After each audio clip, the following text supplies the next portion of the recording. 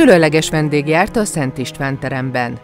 Krausz Ferenc Nobel-díjas fizikust, Fodor Gergely kormánybiztos, a várkapitányság vezetője fogadta a Budavári Palota elsőként megújult része, a déli összekötő szárny előtt. Együtt nézték meg a teremhez kapcsolódó kiállítást, ahol a kormánybiztos arról is beszélt, hogy bár a palota egy része a második világháborúban tűzvészben elpusztult, de állapota helyrehozható lett volna.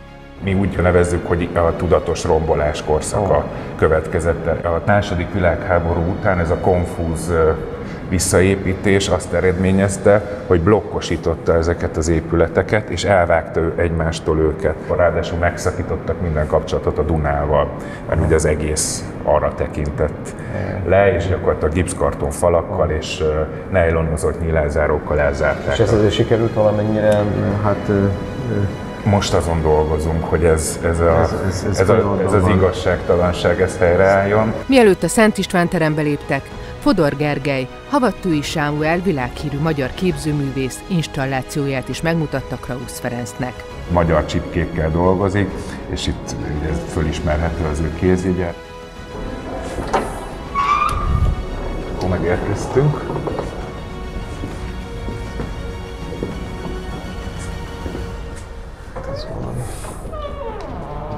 Világ csodája. Ékszerdoboz. Fantasztikus. A legszimbolikusabb középponti eleme, ugye ez a zsolnai kandalló.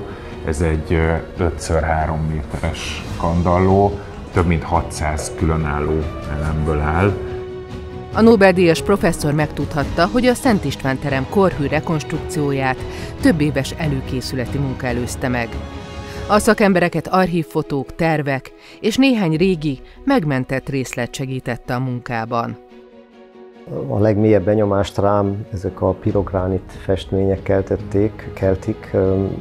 Tényleg valami egészen fantasztikus, ahogy megjelenítik ezeket az alapokat, szinte, mint hogyha le akarnának lépni a, a falról, szinte, mint hogyha háromdimenziósak lennének. Krausz Ferenccel a Fővárosi Petőfi Sándor Gimnázium két kilencedikes fizika fakultációs tanulója is találkozhatott.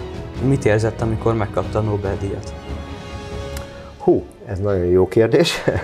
Azt, hogy te, Atya Úristen, mi fog történni itt a következő 45 percen belül.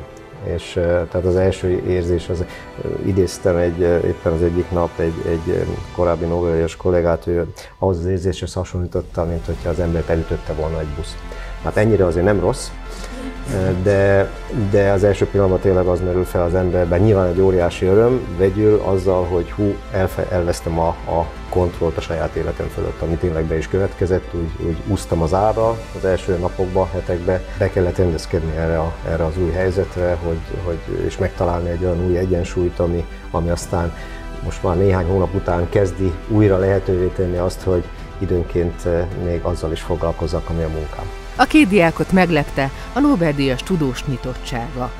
Szerintem is ez egy hatalmas megtiszteltetés volt, hogy uh, találkozhattunk vele, hisz tényleg zseniális elme ideig eljutni, de ő is ugye ember, tök jó fej. A Szent István teremben tett látogatás végén Krausz Ferenc megköszönte a meghívást, és érzéseit is megosztotta a látottakkal kapcsolatban ez tényleg csak tiszta szívből őszintén gratulálni lehet. Köszönöm szépen. Fantasztikus, és Köszönöm. nagy köszönet azért, hogy egy ilyen, egy ilyen ékszerdobozt a magyar történelem, egy ilyen fontos um, emlékét ilyen, ilyen fantasztikus minőségben sikerült rekonstruálni. Ez úgy gondolom, hogy méltán tölt el mindannyiunkat nagy büszkeséggel, és viszi jó hírünket az egész világon. Köszönjük a szép szavakat, de ezek a szép, szép szavak valójában azoknak a mesterembereknek járnak, akik ezt az egészet képesek voltak újra alkotni.